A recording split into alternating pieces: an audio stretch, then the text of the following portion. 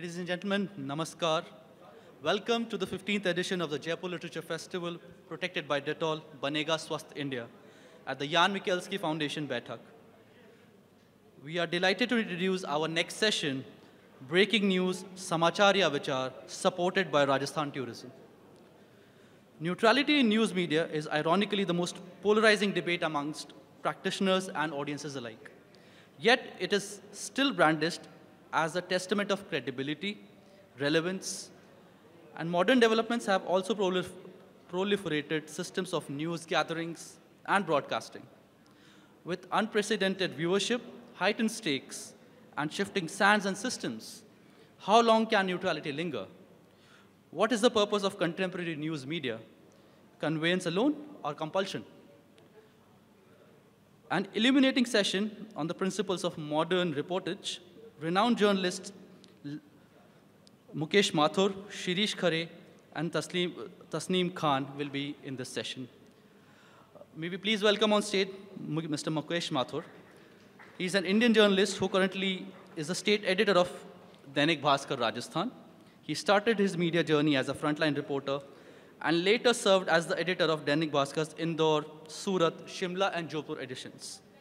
With his 25 years of association with Dainik Bhaskar Group, he has championed numerous award-winning product initiatives and innovations, and he has played a pivotal role in strengthening the fact-based uh, reporting and journalism. Shirish Khare is a journalist based in Pune who has written extensively about the deprived and suffering communities. While writing for newspapers and magazines, the rural landscape has been a prominent theme in his hundreds of reportings. And we have Tasneem Khan, who is a writer and journalist with a leading newspaper in Rajasthan. Her novel, Air Mere Rehnuma, was shortlisted for the Navlekhan Award in the year 2015. Her recent collection of stories titled Dastani Hazrat was published in 2019. I hand over to Ms. Tasneem. Thank you.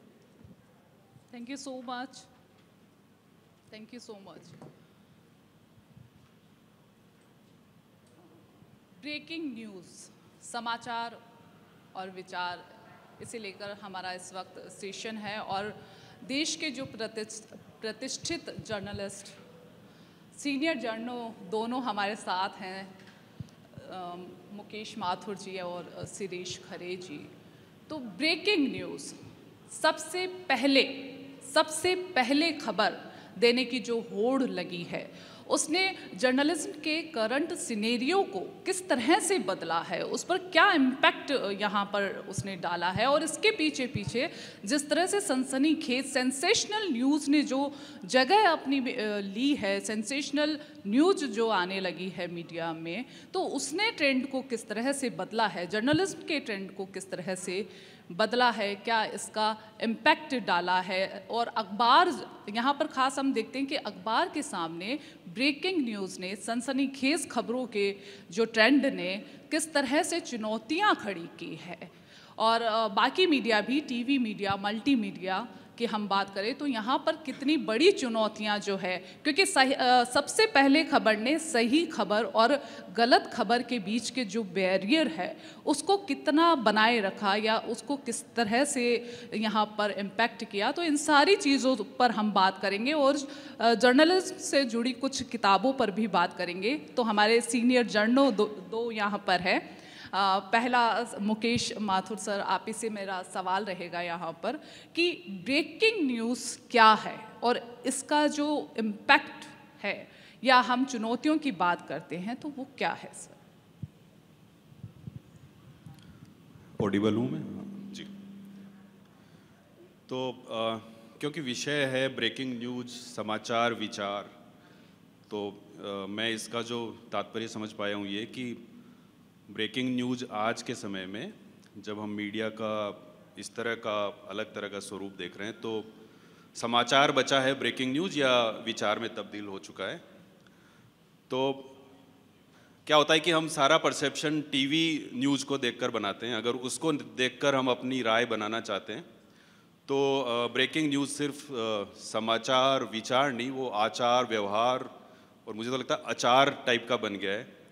क्योंकि अभी सबसे ताज़ा उदाहरण ऐसे हैं जो आपको तत्काल कनेक्ट कर देंगे इन चीज़ों से। मतलब दो दिन पहले मैंने एग्जिट पोल की ब्रेकिंग न्यूज़ सुनी टीवी पे। तो एक एंकर एग्जिट न्यूज़ को एग्जिट पोल को की ब्रेकिंग न्यूज़ दे रहे थे कि भाई, यूपी में किसे कितने सीटें मिलने जा रही है, पंजाब में कितनी मिलने जा रही है, वगैरह वगैरह। तो उनका जो प्रस्तुतिकरण था, वो बहुत अनोखा था, मेरे लिए नया था। वो पुशअप्स करके अपनी ब्रेकिंग न्यूज़ दे रहे थे। ये मैंने पहली बार देखा कि वो लगातार पुशअप्स कर रहे थे और कह रहे थे कि मैं सौ तक पुशअप कर सकता हूँ, लेकिन बीजेपी को जो सीटें आएँगी, वो तीन सौ से ज़्यादा आएँगी। तो ये ब्रेकिंग न्यूज़ का सबसे ताज़ा वर्जन, ताज़ा संस्करण मैंने हाल ही में देखा। तो अगर टीवी की ब्रेकिंग न्यूज़ को देख के आप राय बनाना चाहें तो ब्रेकिंग न्यूज़ बहुत कुछ हो चुकी है विचारों के भी आगे कहीं जा चुकी है। आ, लेकिन आ, इसको गंभीरता से अगर इस पर बात करें तो ब्रेकिंग न्यूज़ है क्या? तो पुलिजर अवार्ड पत्रकारिता का सर्वोच्च पुरस्कार है।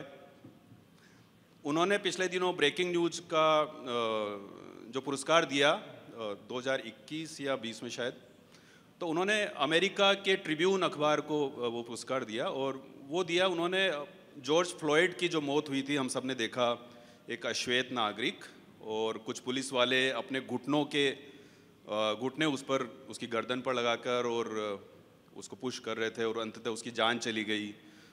उसने जो वाक्य कहा, वो पूरी दुनिया में गूंजा आई कांट ब्रीथ उसके बाद से आप देख रहे हैं कि हर जगह एक स्लोगन चलता है ब्लैक लाइव्स मैटर तो वो जो चार पुलिस अफसर, पुलिस के कर्मचारी कर्मचारियों ने इस तरह से उस बर्ताव किया और उसकी जान चली गई। फिर उन चारों को बर्खास्त किया गया। ये ये खबर ट्रिब्यून ने ब्रेक की और इसके लिए उन्हें पुलिसजर मिला। तो ब्रेकिंग न्यूज़ असल में जो उसका नब्बे फ़ीसदी जो उसका क्षेत्र था, वो ये था कि चल रही घटनाओं को ब्रेक करना। घटना प्रधान चीज़ों में आप जब सबसे पहले कुछ कहते हैं तो वो ब्रेकिंग न्यूज़ है। तो अब घटना प्रधान चीज़ों में आप सबसे पहले कहने का सर्वाधिकार पहले मीडिया के पास होता था। सौ फ़ीसदी वो सर्वाधिकार हमारे पास होते थे कि शहर में कुछ घट गया। मान लीजिए जेलन रोड पे कोई घटना हुई तो वो अखबार ब्रेक करेगा, या फिर जब टीवी आया तो टीवी ब्रेक करेगा। लेकिन वो जो घटनाओं को ब्रेक करने का जो सर्वाधिकार हमारे पास था, अब वो दुनिया के सात अरब लोगों के पास है। क्योंकि कुछ समय पहले, कुछ वर्षों पहले हमारे जीवन में एक डिवाइस आया जिसको हमने मोबाइल कहा और वो मोबाइल एक एक व्यक्ति के हाथ में है और वो हर व्यक्ति एक जर्नलिस्ट है। तो जो घटनाएँ घटती है, वो सबसे पहले कोई अखबार ब्रेक करे टीवी ब्रेक करे, ये कम हो गया है और वो उसके सर्वाधिकार चले गए आम आदमी के पास, जो अच्छी बात है और उसको सैल्यूट करना चाहिए। क्योंकि सारी की सारी बड़ी घटनाएँ पिछले दि, पिछले दिनों देखिए सब बड़ी चीज़ें हैं बड़ी बातें सब आम आदमी ने ब्रेक की है। तो ब्रेकिंग न्यूज़ का एक बड़ा क्षेत्र जो है वो आम आदमी के पास चला गया है। उसके बाद बचा हुआ जो ब्रेकिंग न्यूज़ का एक एरिया था वो किसके पास चला गया है? वो चला गया है सरकार के पास प्रशासन के पास। सबसे ताज़ा उदाहरण है कोविड। कोविड के दौरान मैं अगर जयपुर का एक नागरिक था तो मैं मेरे लिए कोविड की सारी सूचनाएँ सबसे बड़ी ब्रेकिंग न्यूज़ होती थी। नाइट कर्फ्यू लगेगा कि नहीं लगेगा? वीकेंड कर्फ्यू होगा क्या? स्कूल्स ऑनलाइन ही चलेंगे कि ऑफलाइन चलेगी? ये सारी ब्रेकिंग न्यूज़ सबसे महत्वपूर्ण थी मेरे जीवन में और ये किसने दी? ये अखबार ने नहीं दी, ये टीवी ने नहीं दी, सबसे पहले दी सरकार ने और प्रशासन ने। किस तरह से? उनके सारे के सारे नोटिफिकेशन सारी गाइडलाइन पलक झपकते ही सारे के सारे व्हाट्सएप ग्रुप में आ जाती थी। इस तरह से जितनी सरकार की जानकारियाँ, प्रशासन की जानकारियाँ, वो कोई मीडिया नहीं ला रहा है। वो पूरा का पूरा क्षेत्र सीधा सीधा प्रशासन के पास चला गया है, सरकार के पास चला गया है। उनके पास ट्विटर जैसे प्लेटफॉर्म हैं व्हाट्सएप के लाखों ग्रुप हैं। और इसका सबसे एक्सट्रीम वाला उदाहरण क्या है? इसका सबसे एक्सट्रीम वाला उदाहरण जो मैंने पिछले दिनों में देखा लंबे समय से इंतज़ार था कि राजस्थान में मंत्रिमंडल का विस्तार कब होता है।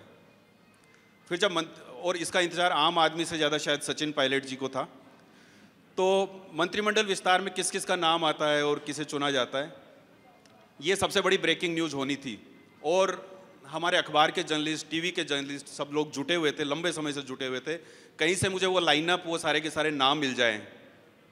लेकिन ये सबसे पहले किसने ब्रेक किया? आप लोगों में से बहुत सारे पत्रकार हैं, आप जानते हैं। ये सबसे पहले ब्रेक की रात को देर रात ट्विटर पे एक मंत्री ने और एक इनका जो डिपार्टमेंट है, संवाद का डीपीआर उन्होंने पूरा का पूरा प्रेस नोट जारी कर दिया कि साहब ये सारे मंत्री होंगे।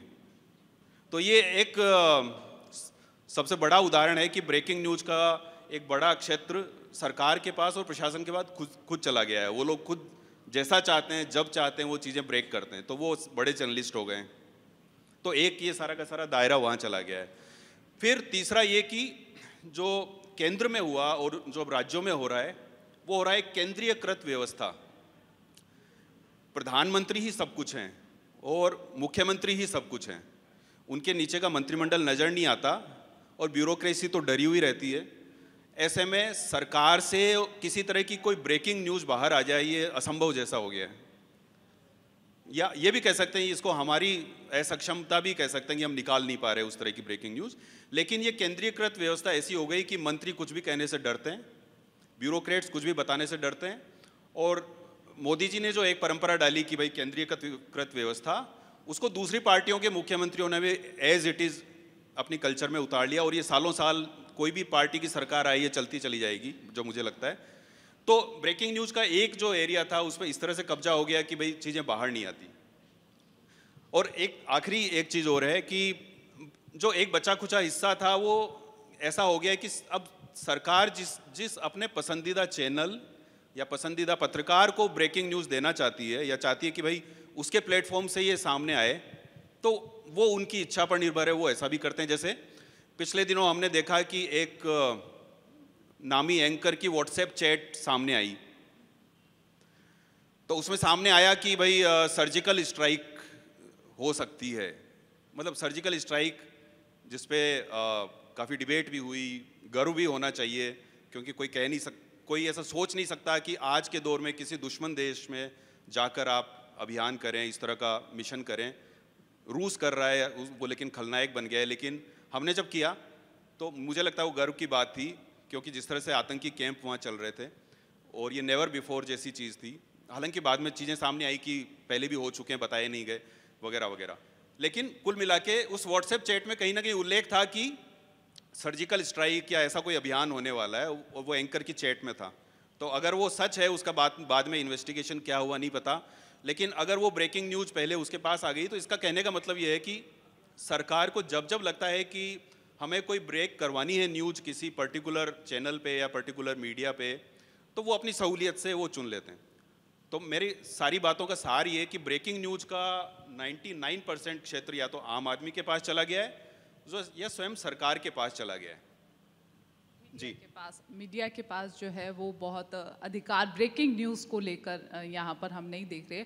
और इसके साथ ही ब्रेकिंग न्यूज़ में सही और गलत जो है वो यहाँ पर सोचने को मजबूर कर देता है कि क्या सही है क्या गलत है उन ब्रेकिंग न्यूज़ पर हम विश्वास करें या ना करें।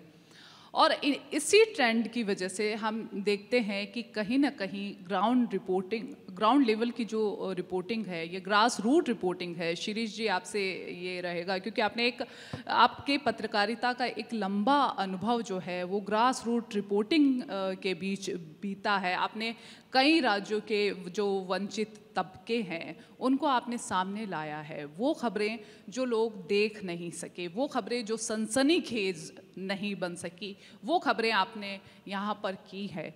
तो ब्रेकिंग न्यूज़ ने इस ग्रास रूट लेवल के जर्नलिज्म पर रिपोर्टिंग पर कितना असर डाला है? और आपके क्या अनुभव रहे? हेलो। मेरे जो अनुभव रहे हैं, मैं उन्हें साझा करना चाहता हूँ। मेरी एक किताब आई है, एक देश बारह दुनिया। हाशिए पर छूटे भारत की तस्वीर। तो इसमें बेसिक जो पहला सवाल ये है वो ये है कि एक देश के भीतर भारत दुनिया किस तरह से है? लेकिन मेरा जो पिछले डेढ़ दशक का जो एक्सपीरियंस रहा है उसमें मैं ऐसी ऐसी जगह गया हूँ और ऐसी ऐसी चीज़ें देखा हूँ तो मुझे लगता है कि एक देश के भीतर इतनी सारी दुनियाएँ कैसी हैं? और वो दुनिया कहीं ना कहीं अखबार से कहीं ना कहीं टीवी से छूटी हुई है दुनिया है। और उन दुनिया की तस्वीरें जब मैं दे, देखता हूँ तो ये होता है कि कोई दुनिया पचास साल पीछे आज भी चल रही है, विकास की विरोधाभास है उनमें। कोई दुनिया सौ साल पीछे चल रही है, कोई कोई दुनिया देश के भीतर 200 साल आगे जाने की बात कर रही है। तो कई तरह की दुनिया हैं, लेकिन ये दुनिया क्यों हैं? ये इतना ज़्यादा विरोधाभास, इतनी ज़्यादा असमानताएँ क्यों हैं? और इन असमानताओं को लेकर जो भी मेरे रिपोर्टिंग के जो एक्सपीरियंस थे, वो इसमें मैंने दर्ज करे। कि मैं बस्तर में देखा कि खाट को उल्टा लिटा के और उसको एंबुलेंस की तरह ले जा रहे हैं। और एक एम्स भी है। तो दोनों पिक्चरों में इतना फ़र्क कैसे है? आज़ादी के इतने सालों बाद। और इसी को मैंने एक क्रम में रखते हुए अपने आप से भी सवाल किया और इन सारी चीज़ों को एक्सप्लोर किया। तो हमने तो सुना था कि मतलब जो थे, अंग्रेज़ हमें लूटते थे। उपनिवेशवाद था, साम्राज्यवाद था। लेकिन आज जो स्थितियाँ ये हैं डेवलपमेंट का जो मॉडल है, उसमें हमारे ही लोग हमारे ही लोगों को लूट रहे हैं और हम, और वो पीछे जा रहे हैं और कुछ मुट्ठी वाले लोग जो है, साधन संसाधनों पे कब्जा करके 200 साल आगे की बात कर रहे हैं। तो ये जो है, हाशिया जो है, जिसको हम हाशिया कहें, वो जो हाशिया है, उसका ब्याज जो है बढ़ता ही जा रहा है। एक देश बारह दुनिया के भीतर हाशिया का ब्याज तो बढ़ता जा रहा है, लेकिन देश गायब हो रहा है। और ये सवाल लेके मैंने ये सारी चीज़ों पे रिपोर्ट लिखी। और इसमें जो बात है, वो दरअसल कई बार न्यूज़ में भी आती है और कई बार बहुत सारी डाटा में भी आती है कि डाटाओं का देश है ये। ये डाटाओं का देश है कि अगर हम बात भी करते हैं तो ये बात करते हैं कि भारत इंडिया में जो फ़र्क है, प्रतीकात्मक, वो भी हम डाटा में बात करते हैं। लेकिन ये एक्सपीरियंस में मैं ये कह सकता हूँ कि अब जो भारत है, वो भारत के अंदर एक न्यूयॉर्क है और दूसरा सोमालिया है। यानी एक जगह भुखमरी है, दूसरी जगह न्यूयॉर्क जैसी चीज़ें हैं। इस हद तक असमानताएँ जो हैं, वो वो कहीं ना कहीं इसमें दिखती हैं। और ये जो आंकड़े हैं, आंकड़ों के पीछे छिपे जो चेहरे हैं, वो कौन है? वो इस किताब में हैं। उनकी कहानियाँ इस किताब के अंदर हैं। वो विकास के मारे हुए लोगों की, कहानियाँ जो हैं, वो किस किताब के अंदर हैं। और इस तरीके से ये सारी चीज़ें मैंने इसमें रखी। और आप देखिए विकास के विरोधाभास जग 1970 से आज 2022 की बात हम करें तो एक उदाहरण मैं देता हूँ। मैं जिस जगह से आता हूँ वो नर्मदांचल है। बर्गी डैम थोड़ा दूर बना हुआ है। तो जब बर्गी डैम बन रहा था सत्तर के दशक में तो एक पिक्चर दिखाई गई वो हरियाली की पिक्चर थी। आ, उसमें ये कहा गया कि बर्गी डैम बनेगा और नहरें जाएँगी। और नहरें जब जाएँगी तो दोनों तरफ़ के खेत ले लहाएँगे तो इसमें किसी को तो कुर्बानी देनी पड़ेगी। तो आधे इलाके के जो खेत थे, उनके खेत वो छीने गए और वहाँ से नहर निकाली गई। यानी कि वो विस्थापित हुए। उनका पुनर्वास तो बहुत मुश्किल बात होती जब किसी को विस्थापित आप करते हो, लेकिन मुआवजे पे भी काफ़ी विवाद रहे। फाइनली क्या हुआ कि उस नहर की उम्मीद बताई गई कि 50 साल ये नहर चलेगी। ठेकेदारों ने काम किया 25 साल 25 ऐसा किया कि 25 साल में टूटने लगी। यानी कि जब मैं 2010 में गया था तो जिन खेतों की जो पिक्चर बताते थे लह लहाती वो पानी में डूबे हुए थे क्योंकि नहर टूटी हुई थी और वहाँ दल दल बने हुए थे। और वो मांग कर रहा था, लाभार्थी मांग ये कर रहा था कि हमें ज़मीन के बदले ज़मीन दो। जब तक कि हम बात ये कर रहे थे अभी तक तो कि पिछले वालों का मुआवजा ही नहीं मिला और लाभार्थियों को ज़मीन के बदले ज़मीन चाहिए। ये जो विकास के विरोधाभास है, ऐसे कई सारे उदाहरण हैं और ये ये बताते हैं कि ये जो डेवलपमेंट का जो पूरा के पूरा मॉडल है इस पर एक सवाल सवाल खड़े करते हैं। और ये है कि ये जो लोग हैं, अब ऐसा नहीं कि ये लोग आपको मेलघाट में मिलेंगे, बस्तर में मिलेंगे, बल्कि इस तरह से खदेड़े गए लोग हैं कि आपको जयपुर में भी मिलेंगे। और जयपुर में जब आप मिलेंगे तो एक बहुत अच्छी बात यह है, जब मैं जर्नलिज्म करता था तो एक न्यूज़ रूम में 12 बजे मीटिंग होती थी कि क्या क्या करना है हमें। उस दौरान मैं इस तरह के इशूज़ पे बात करता था। और ये सारी जो चीज़ें होती हैं, वो ये होता है कि अभी जो बात हो रही थी ब्रेकिंग समाचार विचार की, कुछ चीज़ें तो एक्सपोज हो गई। जैसे टीवी जो है एक्सपोज हो गया। पर कई ऐसी बारीक चीज़ें होती हैं जो एक्सपोज नहीं होती हैं और बहुत स्किलफुली अपना काम करती हैं। तो जब हम शेयर करते थे कि इस देश के भीतर आज़ादी के इतने सालों बाद भी मेला प्रथा है तो ये कहते थे, सीरीज़, तुम क्या बात कर रहे हो? हमारा जो टारगेट ऑडियंस है, वो भोपाल का बंदा है वो सुबह सुबह चाय जब पिएगा और उसके हाथ में मेल, की खबर होगी तो वो क्या सोचेगा? तो इसमें कोई ऐसी बात नहीं है कि ये लिखित संविधान है अखबार के अंदर। लेकिन जब आप डिस्कस करते हो तो आप समझ जाते हो कि अब आगे आपको क्या करना है। एक भोपाल का बंदा है जो मिडिल क्लास है इतना स्वार्थी कि अपने लिए सोचता है और जो हमारे गाड़ी साफ़ करने वाले लोग हैं जो कार चलाने वाले लोग हैं जैसे कि वो उनके बारे में सोचता ही नहीं है और वो केवल भोपाल के बारे में सोचता है। ये सारी की सारी चीज़ें एक व्यवस्था में शामिल हो जाती हैं, अघोषित तौर पर। और ये जो आइडिया से लेकर के प्रेजेंटेशन और यहाँ तक की जो मेंटेलिटी स्थापित होती है, मेंटेलिटी स्थापित होती है उसमें भी एक विचार काम कर रहा होता है जो हमें दिख नहीं रहा होता, अदृश्य होता है। जैसे कि हमारा भारत अदृश्य है, जो इतना भूखा है, इतना लाचार है और यहाँ पे विस्थापन की समस्या है और हेल्थ की है और शिक्षा से छूटा हुआ है, ये अदृश्य भारत है। अदृश्य भारत का संकट जो हमें नहीं दिखता है, ठीक इसी तरह से अखबार के भीतर जो विचार है, वो विचार जो है, वो किस तरह से काम कर रहा है, वो हमें नहीं दिखता और उसके भी कई उदाहरण हैं मेरे पास। तो ये सारी की सारी पिक्चर है और ये जो हाशिया है, ये बहुत बड़ा होता जा रहा है। और चंद मुट्ठी भर जो लोग हैं, उनके हाथों में साधन संसाधन है और व्यवस्था उन्हीं के हिसाब से चल रही है। जैसा कि आप बता रहे हैं कि मीडिया की हम यहाँ पर बात करें तो अघोषित तौर पर जो विचार हैं तो इस विचार ने पत्रकारिता को कितना नुकसान पहुँचाया है? पत्रकारिता के मतलब मैं देखूँ तो तीन चार तरह के संकट हैं।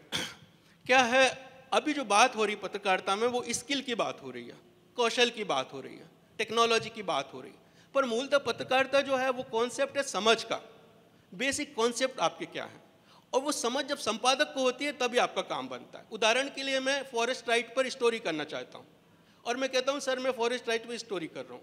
लेकिन संपादक को ना तो उसकी समझ है और ना इंटरेस्ट है। मैं जब उसको कहता हूँ कि व्यक्तिगत पट्टे ज़्यादा मिले हैं, लेकिन सामूहिक पट्टे नहीं मिले तो उसको मालूम नहीं क्या है। उसको पेशा कानून मालूम नहीं, उसको मनरेगा के कानून मालूम नहीं फ़ूड सिक्योरिटी मालूम नहीं, पंचायत राज मालूम नहीं, सूचना का अधिकार मालूम नहीं तो वो क्या होगा? सारी की सारी चीज़ें डिपेंड होती हैं, बहुत बहुत सारी चीज़ें, वो एडिटर पर होती हैं। कि उसका इंटरेस्ट क्या है और उसकी समझ क्या है?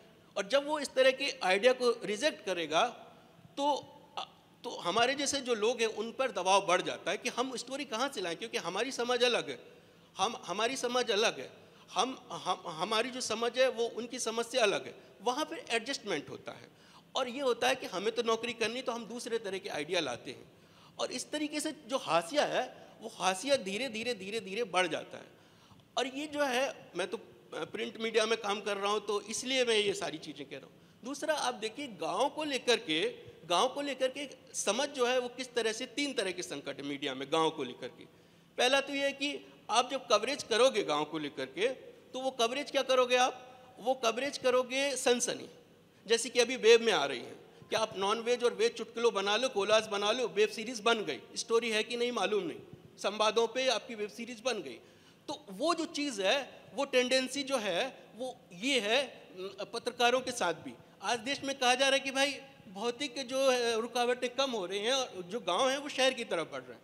लेकिन जो गाँव की चेतना है वो कहाँ पर है? और ग्रामीण का जो हीन भावना है वो कहाँ पे? मेरे जो दोस्त हैं, वो न्यूयॉर्क में भी हैं। मतलब गाँव से निकले लोग, अमेरिका में। वो अपनी आइडेंटिटी को छिपाते कि मैं गाँव का नहीं हूँ। उनके अंदर हीन भावना कि मैं जबलपुर का हूँ, भोपाल का हूँ। ये जो चीज़ है, ये रिफ्लेक्ट न केवल समाज में होती है, बल्कि कहीं ना कहीं ये रिफ्लेक्ट होती है, क्योंकि वो जो प्रतिनिधित्व है, वो उसी का है। तो पहली चीज़ तो ये है। दूसरी चीज़ ये है कि कुछ अंग्रेज़ी दा या इलीट जो पत्रकार है, उसमें सही बात है कि प्रगतिशीलता के मूल्य ज़्यादा हैं बट वो तासीर नहीं समझता गाँव की। और वो जो है कल्चर और समाज को नहीं समझता है और वो जो है वो एक टूरिस्ट की तरह आता है और रिपोर्ट करके चला जाता है। वो भी उस तरह से मीडिया को नहीं दिखा पाता। तीसरा हमारा समाज है आंचलिक मीडिया जो कहीं ईमानदार है। कहीं ईमानदार है कहीं संवेदनशील है। लेकिन मुझे ऐसा लगता है मैं भी उस बैकग्राउंड से निकला कि कहीं ना कहीं वो रूढ़ीवादी भी है। और उसकी भी मेरे पास उदाहरण है कि जैसे ही आप जो है मैं एक उदाहरण ही दे देता हूँ। जैसे मेरे गाँव में क्या हुआ था कि दो लड़कियों ने सुसाइड कर लिया। अब ये जो चीज़ है, तब तक तो ये मीडिया के लिए खबर नहीं थी, लेकिन जब उसकी चिट्ठी आई और उसमें बताया कि वो लेस्बियन है और वो चाहते हैं कि ये समाज हमें जीने नहीं दे रहा है तो हम इस समाज को छोड़ देते हैं। उस समय इलेक्ट्रॉनिक मीडिया, प्रिंट मीडिया गाँव में आगमन हुआ कि ये तो सनसनी वाला मामला है। और उन्होंने जो रिपोर्टिंग करी, यहीं यहीं से विचार बनते, है ना? वो इथिकली सही है मतलब उनका फैक्ट सही है, सब सही है है ना? लेकिन जो अप्रोच है, उनका जो मानसिकता है, वो किस तरह से काम करती है? वो उसको सनसनी बना रहे वो ये बता रहे हैं कि ये तो वेस्टर्न का मामला है। जिनसे पूछा उन्होंने कहा, वेस्टर्न कल्चर का मामला टीवी आई इसकी वजह से हो रहा है। यानी कि जो एक बहुत ही सतही जो होता है, वो सारी चीज़ें। लेकिन इसके भीतर भावनात्मक पक्ष क्या है? इसके भीतर मनोवैज्ञानिक पहलू क्या है? इससे किसी को कोई मतलब नहीं और फाइनली लड़कियों का पक्ष तो आया ही नहीं। जो आया, वो रिपोर्टर का पक्ष आया और जो मेंटेलिटी बनी, समाज में जो स्थापित हुई अवधारणा, वो भी रिपोर्टर की स्थापना हुई। तो इस तरीके से मैं कह रहा हूँ कि गाँव में ये जो है इस तरह से चुनौतियाँ हैं मीडिया की बिल्कुल बड़ी चुनौतियाँ हैं मीडिया के लिए। मुकेश माथुर सर आ, समाचार के विचार पर यहाँ हम बात कर रहे हैं कि किस तरह से विचार जो है वो बदले हैं। जैसे सुपर एक्सक्लूसिव मुझे याद आ, आ रहा है कि एक्सक्लूसिव नहीं सुपर एक्सक्लूसिव। जैसे रूस और यूक्रेन के बीच युद्ध है तो वो महायुद्ध।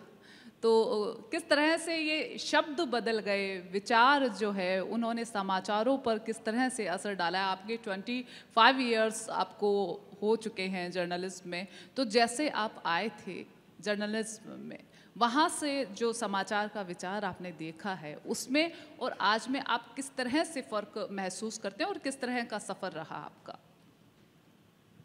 देखिए क्योंकि आपने यूक्रेन वाले मुद्दे की बात की तो यूक्रेन के युद्ध को जिस तरह से वीडियो गेम बनाया चैनलों ने वो तो हम सब देख रहे हैं और सुपर एक्सक्लूसिव क्या और जो जो लिख सकते हैं वो लिख सकते हैं। लेकिन हम शायद उन आ, एक दर्जन आधा दर्जन उन पत्रकारों को नहीं देख रहे जो यूक्रेन में बम गोले बरसाए जा रहे हैं उनके बीच में काम कर रहे हैं। और मेरा कहना है कि टीवी जिसको हम कोसते रहते हैं टीवी ने इसमें सबसे अच्छा काम किया है। ग्राउंड रिपोर्टिंग जिसकी हम बात कर रहे हैं वो वहाँ जाके उन सारी मुश्किलों के बीच में ग्राउंड रिपोर्टिंग कर रहे हैं। और ट्विटर पे बीच में तो एक मुहिम भी चली कि भाई इन्हें भी वापस बुलाएँ। पर जर्नलिज्म का पेशा ऐसा है कि इसमें ये सब नहीं देखा जाता और आपको मौके से रिपोर्ट करना होता है। तो बहुत सारे जर्नलिस्ट ऐसे हैं, टीवी के, अखबारों के, पोर्टल के, जो वहीं, वहाँ पे क्यू में और उन सारी संवेदनशील जगहों पे काम कर रहे हैं और रिपोर्टिंग कर रहे हैं। तो वो एक पहलू भी है। ऐसा नहीं है कि सिर्फ़ सनसनी और ये सब, सनसनी एक हिस्सा बन गया है उसका, लेकिन रियल जर्नलिज्म भी हो रहा है। और ये विकृत स्वरूप की बात तो बहुत सारी कर सकते हैं हम, बहुत सारे ऐसे उदाहरण हैं सुपर एक्सक्लूसिव जैसे। लेकिन जो शिरीष जी ने जो बात छेड़ी वो मुझे लगता है ज़्यादा सार्थक दिशा में जा रही है कि इन्होंने गाँव पे काफ़ी काम किया है, इनकी किताब है एक देश, बारह दुनिया इन्होंने काफ़ी उस पर स्टडी की है और ये काफ़ी, जिसको रियल आप जो ग्राउंड रिपोर्ट की बात कर रहे हैं, इन्होंने असल में ग्राउंड रिपोर्ट की है, एक किताब लिखना और उसके लिए हर पहलू तक जाना, ये सही कह रहे हैं कि अखबार में कई बार आज की खबर आज फ़ाइल करनी होती है तो आप काफ़ी हद तक सतही हो जाते हैं, पर इनको तो डेप्थ में जाना था और इन्होंने किताब लिखी। तो वो जो गाँव की खबरें हैं, वो ब्रेक हो रही हैं या नहीं है, या जो रियल इश्यूज़ हैं, वो आ रहे हैं या नहीं आ रहे हैं, इन्होंने इस दिशा में शायद संकेत किया। अखबारों को भी और टीवी को भी गाँव तक जाना पड़ रहा है। ऐसा नहीं कि वो जा नहीं रहा है। बूंदी में अगर एक दशक तक कोई दलित परिवार में घोड़ी पे नहीं बैठ पाता कोई दूल्हा बिंदोरी नहीं निकलती। फिर एक महिला कलेक्टर आती है और वो कहती है कि प्रशासन की निगरानी में ये होगा। और फिर होने लग जाता है तो वो अखबार रिपोर्ट करते हैं। या ब्रेक करते हैं। शायद उन्होंने किसी अखबार ने सबसे पहले इस बात को समझा होगा और उन्होंने ब्रेक किया होगा। या पोखरण जहाँ पे आ, बच्चियों की संख्या इतनी कम है कि राखी के दिन एक फ़ोटो छपा था अखबार में कि दो बच्चियाँ हैं जो खड़ी हैं। छोटी बच्चियाँ हैं और सामने पाँच साल से लेकर और पचानवे साल तक के बुज़ुर्ग तक एक लंबी लाइन लगी है राखी बंधवाने के लिए। क्यों? क्योंकि वहाँ पे बच्चियों की संख्या इतनी कम है। तो वो स्टोरी ब्रेक हुई है। गाँव की बहुत सारी खबरें ब्रेक होती है। गाँव के चप्पे चप्पे पे स्ट्रिंगर है, संवाददाता। ऐसा नहीं कि हम शहरों में बैठ के अखबार बनाते हैं। वहाँ पे हज़ारों का नेटवर्क है जो ये करता है। लेकिन ये बात सच है, जो शिरीष जी कह रहे हैं कि उतनी डेप्थ में जाके और उस तरह से काम नहीं हो पाता। तो ब्रेकिंग न्यूज़ का वो एक विकृत स्वरूप है कि वो सनसनी है, लेकिन ब्रेकिंग न्यूज़ की भी जाती है। विकृत स्वरूप देखें तो और भी बहुत सारे उदाहरण हैं। सबसे बुरा उदाहरण जो जो मैंने आप इतने सालों में देखा, वो कि ताज पे हमला हुआ था। कसाब और वो तीन चार आतंकी वहाँ हमला कर रहे थे और आप वहाँ टीवी से लाइव दिखाकर ब्रेक कर रहे थे। वो उससे बुरी ब्रेकिंग न्यूज़ नहीं हो सकती कि भाई वो सीमा पार देख रहे थे और उसके हिसाब से वो अपनी स्ट्रेटजी बना रहे थे। या वो कारगिल में जब आप जाके लाइव कर रहे हैं और वहाँ पे आप ब्रेकिंग के चक्कर में आप पे हमला हो जाता है सामने से, वो इसका विकृत स्वरूप है। तो बहुत सारे ऐसे ऐसे भी हैं, लेकिन ब्रेकिंग के अच्छे उदाहरण भी बहुत सारे हैं। जैसे कि चाइना में उइगर मुसलमानों पे जो जिस तरह का अत्याचार होता है, वो एक महिला जर्नलिस्ट ने उसको ब्रेक किया और वो सैटेलाइट की तस्वीरों से उसने उसको ब्रेक किया। तो ऐसे बहुत सारे अच्छे उदाहरण हैं। तो ब्रेकिंग न्यूज़ अभी भी होती है। सबसे बड़ा ताज़ा उदाहरण यह है, कोविड के दौरान मौतें हुई और हर सरकार ने, राजस्थान सरकार से लेके केंद्र सरकार तक, हर सरकार ने मौतों का सच सामने नहीं आ नहीं आ सके, इसके लिए भरसक प्रयास किए। और वो अखबार थे, सबसे पहले अखबार थे जिन्होंने गाँव के चप्पे चप्पे तक, गाँव कस्बे में जाकर एक एक कब्रिस्तान एक एक शमशान घाट से के रजिस्टर जाँच कर सारे आंकड़े लाकर बताया कि आप जो मोते बता रहे हैं, उससे दस गुना, बीस गुना ज़्यादा मोतें हो चुकी है। वो सबसे बड़ा उदाहरण है। स्मृति ईरानी ने अभी बोला कि भाई, पूरे देश में मतलब कोविड की दूसरी लहर के आसपास, कि देश में 500 बच्चे ही हैं जिन, जो 500 बच्चे हैं, जो अनाथ हुए कोविड के दौरान। तो राजस्थान में एक रिपोर्ट हुई कि भाई 490 के आसपास तो राजस्थान में हो चुके हैं। उनके सरकार के डेटा के हिसाब से वास्तव में तो पता नहीं क्या कहाँ जा रहा था फिगर तो ये सब चीज़ें ब्रेक हो रही हैं। ऐसा नहीं कि तो मैं शुरू में जो मैंने बात कही कि टीवी को देखकर परसेप्शन बना रहे हैं तो ब्रेकिंग न्यूज़ विचार हो गया आचार हो गया पर ब्रेकिंग न्यूज़ अभी भी एग्जिस्ट करता है मुझे जो लगता है। बिल्कुल आ, लेकिन अगर हम बात करें वंचित तबकों की मुकेश सर वंचित तबकों की हाशिए पर जो सर ने बताया शिरीष जी ने जो बताया हाशिए पर जो लोग रह रहे हैं तो उनके लिए क्या स्ट्रिंगर्स वगैरह, उनको जो खबरें मिलती है सिर्फ़ वही ला रहे हैं या अपने लेवल पर भी आज ऐसी रिपोर्टिंग हो रही है खुद के लेवल पे कि वो जाकर खोजी पत्रकारिता की जो हम बात करें कि वो खोज कर गाँव गाँव से या जहाँ पर भी कोई आखिरी हम व्यक्ति की बात करें, आखिरी वंचित व्यक्ति की बात करें तो क्या ऐसी खबरें भी अखबार में अपनी जगह, बड़ी जगह जो पहले थी, वैसी ही अभी भी बना पा रही हैं? मुझे तो लगता है कि अभी भी ये सारा काम हो रहा है। अभी भी जैसे मैंने बूंदी का उदाहरण दिया तो इस तरह की बहुत सारी खबरें अभी भी आप रोज़मर्रा के अखबारों में, टीवी में देखेंगे तो आ ही रही हैं। वंचित वर्ग की है, सभी तरह की है। तो खबरें तो अभी भी आ रही हैं। शिरीष सर, एक रिस्क होता है। जर्नलिज्म एक बड़ा रिस्क की तरह हम देखते हैं। जैसे कि अभी यूक्रेन मुद्दे पर हमारी बातचीत चल रही है तो किस तरह से रिस्क लेकर वहाँ पर रिपोर्टर खड़े हैं?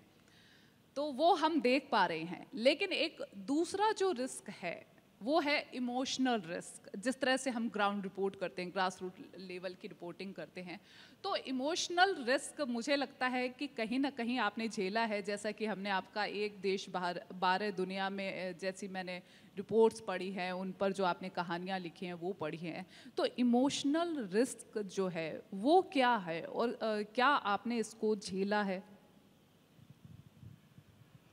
देखिए, मोटे तौर पर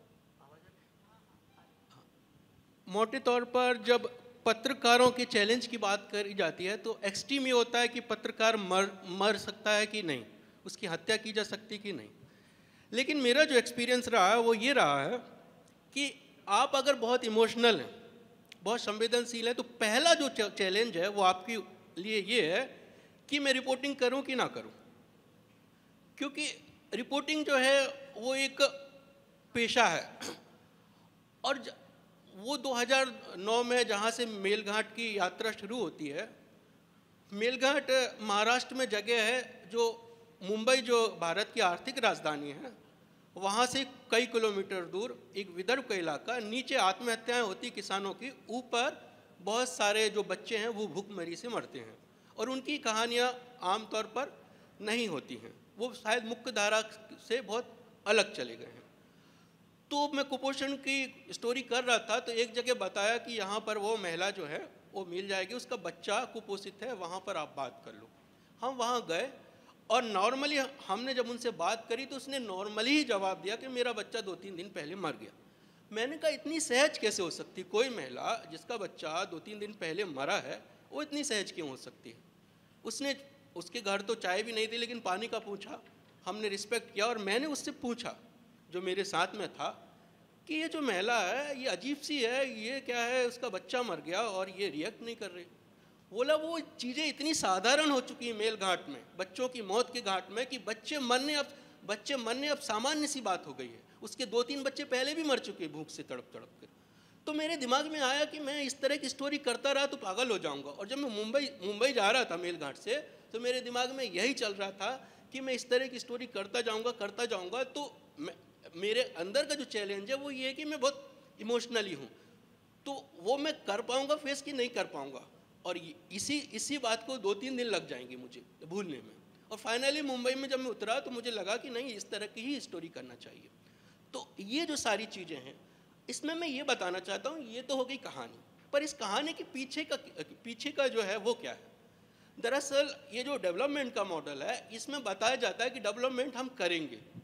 किसी ने कहा कि हमारे साहब डेवलपमेंट कर दो, वो लग कर देते हैं। वही लोग परेशान हो जाते हैं कि साहब ये कैसा डेवलपमेंट कर दिया, ये ऐसा डेवलपमेंट हमें नहीं चाहिए। तो मतलब ये है कि आप उनके जल, जंगल, ज़मीन से जब उनको उजाड़ोगे तो वही उनके बैंक हैं, वही उनके खेत हैं, वही उनके खलिहान और वो हो जाएँगे बेकार। और जब वो बेकार हो जाएँगे तो गरीब होंगे। और गरीब होंगे तो खाने को नहीं मिलेगा। खाने को नहीं मिलेगा तो कुपोषण होगा। कुपोषण होगा तो भूख की ये होगा। तो एक पूरा चक्र है। उस चक्र को जब तोड़ते हैं तो उनको जीने के लिए मुंबई जाना पड़ता है। और मुंबई में जब हम स्टोरी कर रहा था तो मुझे लगा कि इसकी जड़ जो है मेलघाट में और दोनों पिक्चर हमें दिखाना चाहिए कि मुंबई का आदमी जो है, ये आया कहाँ से? जो काम करने वाला। तो दरअसल इसकी जड़ जो है डेवलपमेंट की जड़ है, वो मेलघाट में और मैंने दोनों स्टोरी वहाँ पर करी। मुंबई में मुंबई में जो कमाडीपुरा नाम की जगह है जहाँ विषयवृत्ति है, वहाँ से शुरू करी और मैं वहाँ गया, इस तरह से। जी शिरीष जी, बिल्कुल ये एक लंबी बहस है। मीडिया का जो ट्रेंड बदला है, वो एक बहुत लंबी बहस है कि उस पर पूरा पूरा दिन यहाँ पर लिया जा सकता है, लेकिन वक्त जो है वो बेहद कम है हमारे पास में और उसी में हमने कोशिश की है कि कुछ बातें आप तक पहुँचाई जा सके। तो दर्शक जो यहाँ पर बैठे हैं जर्नलिज्म को लेकर, हमारे पास दो सीनियर जर्नों यहाँ पर हैं तो आपके जो भी सवाल हैं, वो आप यहाँ पर कर सकते हैं।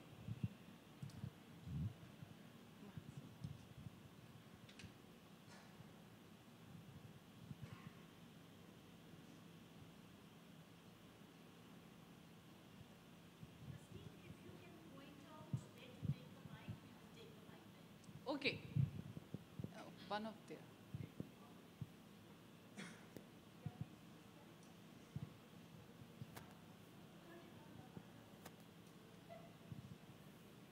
Hello. Uh, am I audible to everyone? Yeah, okay.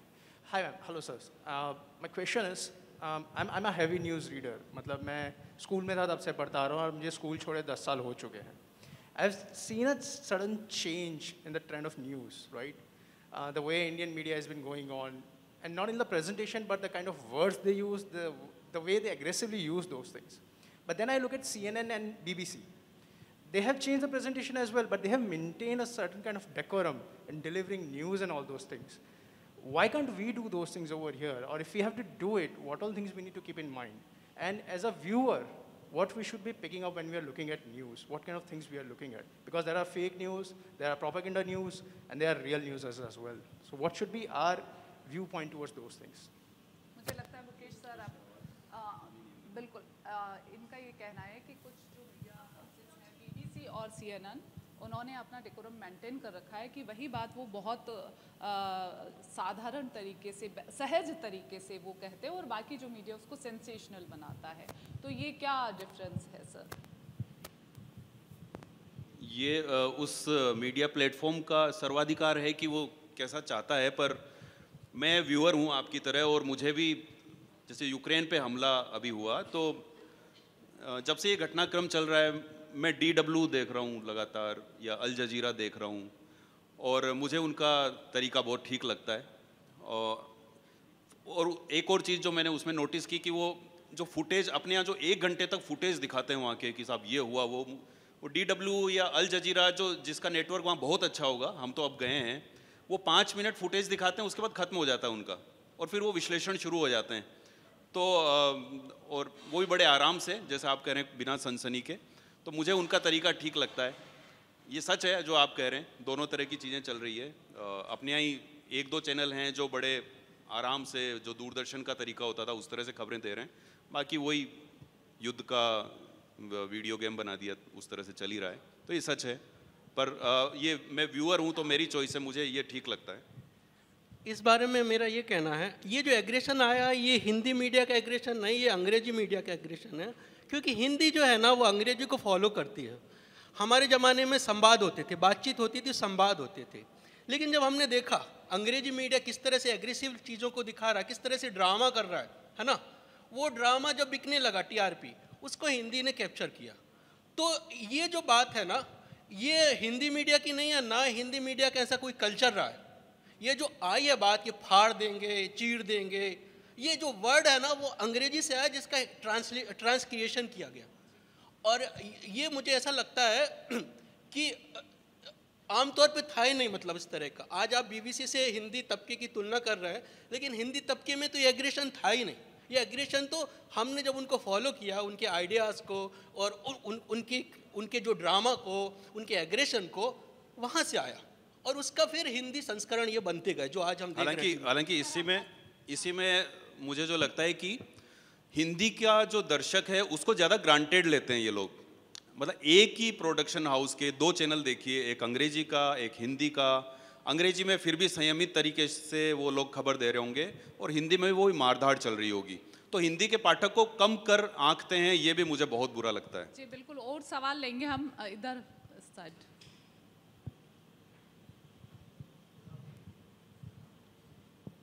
good afternoon to the panel मेरा सवाल एक एंड कंज्यूमर के पर्सपेक्टिव से है और I use the term consumer किससे?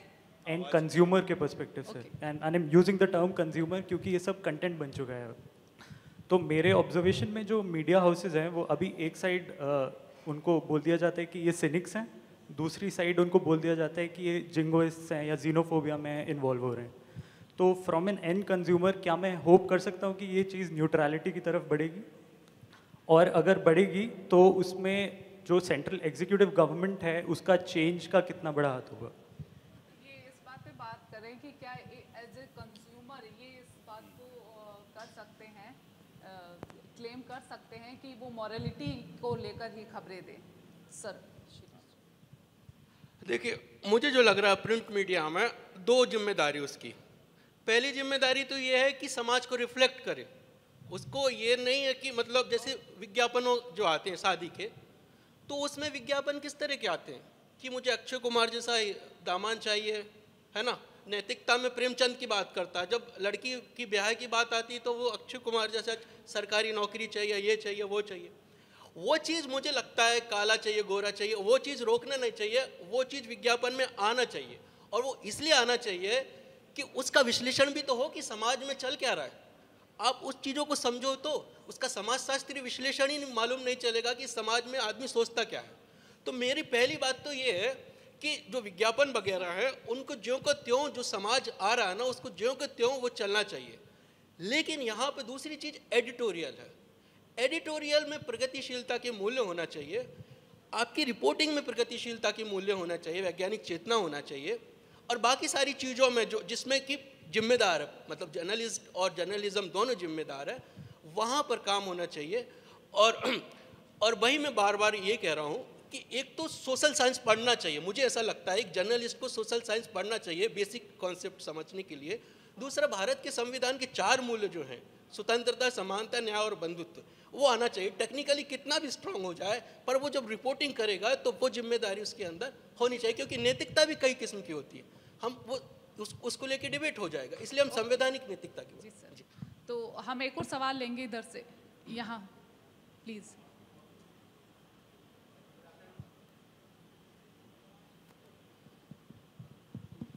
गुड आफ्टरनून सर मेरा आपसे ये सवाल है कि जैसे आज आ, पूरी मीडिया मतलब ऐसा नहीं कहूँगा मैं लेकिन पूरी मीडिया अधिकतर बिक चुकी है कि कोई रूलिंग पार्टी को सपोर्ट कर रहा है तो कोई अपोजिशन पार्टी को सपोर्ट कर रहा है।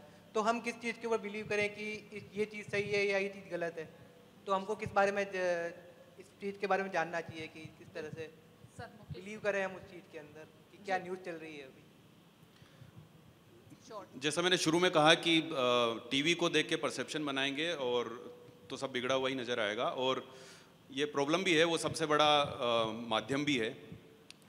ये सही है कि ये ऐसा हो गया है कि साहब एक पूरा हिस्सा मीडिया का, वो कह रहा है कि देश में साहब, सब बढ़िया हो रहा है, सब अच्छा चल रहा है, फूल खिले हुए हैं। एक एक तबका वो है या एक वो है जो मैंने एक एंकर का एक फ़ोटो देखा, आपको बताता हूँ। जो हमेशा सर, मोदी सरकार और इस सब के खिलाफ और ये वो। तो कचरे का एक बड़ा सा ढेर था और वो बिल्कुल एक पोज बना के फ़ोटो देख रहे थे। मेरे को शाहरुख खान की याद आ गई जो जिस तरह से पोज बनाते हैं। तो उस तरह का एक फ़ोटो उन्होंने डाला और इशारों इशारों में कहना ये चाह रहे हैं कि कचरा हो रखा है पूरा देश का और दूसरा एक पूरा का पूरा एक तबका है जिसके हिसाब से फूल ही फूल खिले हैं। सब बहुत अच्छा ही अच्छा हो रहा है। तो ये एक्सट्रीम है, ऐसा माहौल कभी नहीं था और ये मेरा कहना है चार एंकर मिलके बहुत ही ये ब्लंटली मैं कह रहा हूँ कि चार एंकरों ने मिलके पूरी मीडिया की साख खराब की इस देश में। असल हो सकता है कि उनके ऊपर कोई एम्प्लॉयर होंगे, उन्होंने एक एजेंडा बनाया होगा, लेकिन चार एंकरों ने मिलके मतलब अब प्रिंट मीडिया के आदमी से भी, जैसे मैं इंदौर में एडिटर था और राज्यसभा चैनल की एक रिपोर्टर आई चुनाव को लेके इंटरव्यू लेने या बात करने तो उन्होंने जैसे ही अपने कैमरा वैमरा ऑन किया, उससे पहले उन्होंने पूछा, आप पहले ये बताइए कि आप किससे ज़्यादा इन्फ्लुएंस्ड हैं? तो मैंने कहा कोई ज़रूरी है कि मैं किसी एक पार्टी से इन्फ्लुएंस्ड हूँ आप दिल्ली में बैठे हो और आप लोगों ने माहौल ऐसा बना लिया है कि आपको लगता है कि या तो इधर होगा या उधर होगा। न्यूट्रल होना अपराध थोड़ी है। बिल्कुल। मीडिया जो है, हमेशा न्यूट्रल रोल पर अपने यहाँ काम करता रहा है।